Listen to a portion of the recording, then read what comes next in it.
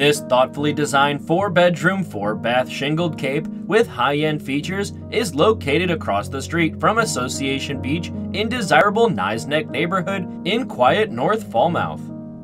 Come see it in person with Anne Marie Greenberg.